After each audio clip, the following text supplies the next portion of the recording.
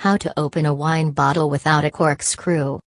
Imagine a beautiful day, a perfect picnic, a special someone, a loaf of bread, some cheese, and a bottle of wine, and. Wait, no corkscrew? No problem.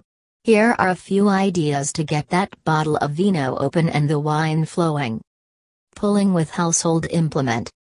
Try pulling the cork out using one of the following methods. Work carefully to ensure that the cork does not break apart into smaller pieces. Also, make sure that any objects which come into contact with the cork are clean. Dirty objects increase the likelihood of tainting your wine. Find a screw and pliers. The wider the distance between threads on the screw, the better. Turn the screw into the cork of the wine bottle until there is about half an inch, 1.2 centimeters, sticking out. Use the pliers to pull the screw out, the cork should come with it.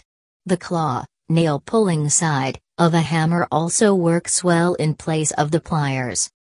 Use a pocket knife or a paring knife. The blade has to fit easily into the neck of the bottle. Some sources recommend using a serrated knife. Note, if you are using the knife to pry the cork out from the side, make sure you put slow even pressure on the fulcrum, the easily breakable rim of the opening. If using the fulcrum method, it works best to grip the bottle neck with your free hand slightly below the knife, using your fingers as the fulcrum. Moving your grip up as the cork comes up. This is similar to opening a beer bottle with a pocket lighter. Carefully work the knife back and forth into the cork, using very little downward pressure. With the blade buried in the cork, twist the cork back and forth, with a slight pull, and slowly work it out. Get a cheap wire coat hanger and bend the hook part out straight. Use pliers to make a little hook by bending the last half inch, 10 millimeters, back until it makes an angle of about 30 degrees, a bit like a fish hook. Push the wire down beside the cork until the little hook is below the cork. Rotate the wire 90 degrees so the hook can grab the bottom of the cork and pull it out. You might want to wear gloves, as the wire can hurt your fingers. Find a bicycle hook, the kind used to hang bikes from rafters. Screw it into the cork. Using the vinyl coated hook as a handle, pull the cork out, away from your body. Use a leather bootlace. Tie an overhand knot in the end of the lace. Push the knot down the side of the cork with any sharp object until it is below the bottom of the cork. Wrap the rest of the lace round your hand and then slowly pull the lace and cork out. If the knot pulls through, tie a bigger knot. Get two paper clips and a pen. Partially straighten the paper clips, leaving the U shapes intact. Work one of the smallest into the bottle between the glass and the cork. You can push on the larger U end with another object until the free end of the U is below the cork. Rotate the wire 90 degrees so that this hook will penetrate the cork when you pull up. Repeat on the opposite side of the cork with the second paper clip. Straighten the two larger U shapes and twist the ends together a few times. Insert a suitable utensil, spoon handle, pen barrel, pencil, etc., under the twisted wires. Slide your fingers under the utensil, with the wires between your middle and ring fingers, and slowly pull out the cork. Use a corn cob holder. Intended for holding a hot piece of well buttered corn on the cob, it consists of a knob and three pins. Insert the pins into the cork. Gently pull up, while slowly rotating your hand from side to side. Use a Forstner bit.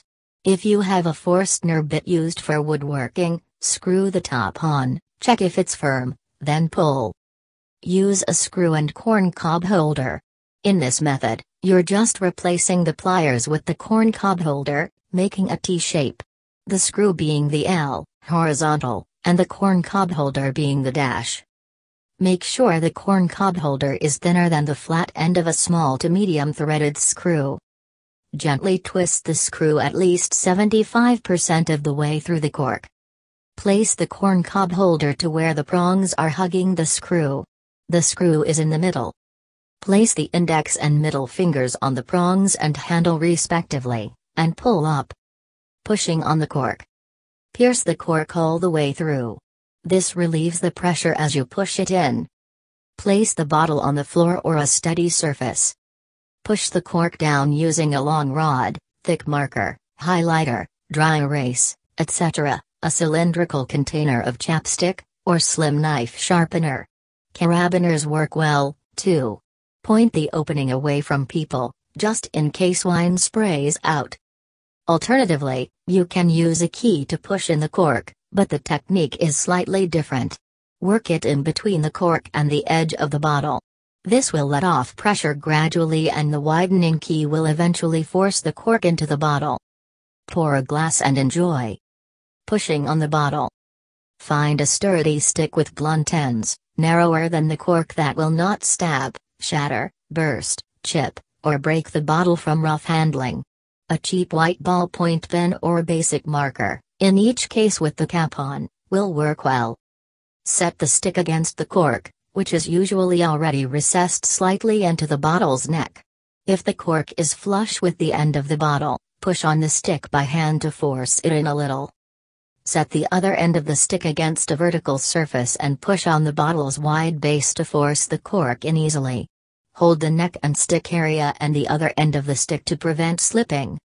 The surface should be strong and with a surface that will not dimple, or protected, like a wall padded with some junk mail.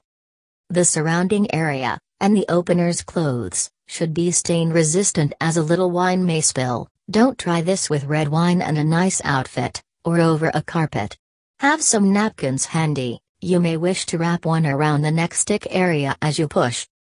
Wine bottles are pretty sturdy, but you can reduce the risk of injury if one were to break by wrapping it in heavy cloth or paper before messing with it.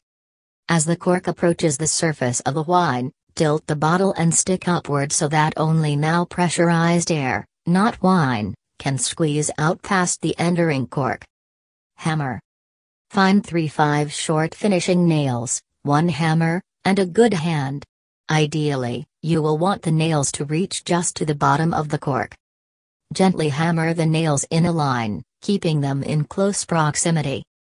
Use the claw end of hammer, and your thumb as a leverage point. Pry the nail embedded cork out of bottle. If at first the cork does not come out, Hammer nails in again in a perpendicular line from the original line and try again. Pour a glass